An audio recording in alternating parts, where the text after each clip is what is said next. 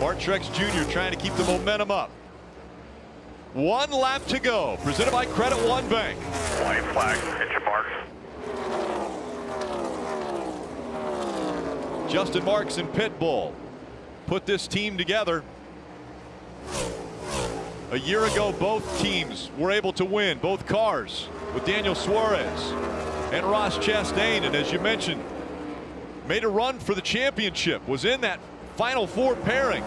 Now he's going to have another shot at it. A win here at Nashville for Ross Chastain puts him in the playoffs.